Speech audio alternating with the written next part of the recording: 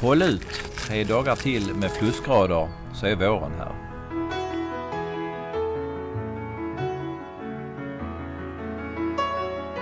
Vi har som det ser ut just nu haft fyra dagar med vårtemperaturer över Skåne. Och eh, nu är det så att det är lite kallare luft på väg in här under fredagen och under veckoslutet. Men för södra Skåne så ser det faktiskt rätt så bra ut. Så att eh, tre dagar till krävs och sen kanske, kanske våren då har anlänt i alla fall längs sydkusten. Men våren är nyckfull. Just nu är det stora skillnader i temperaturer. Vi ser här på observationerna just nu så har vi 9 grader varmt i Kristianstad. Men det är ganska stora lokala skillnader faktiskt bara en minusgrad på eh, Hallands Väderö.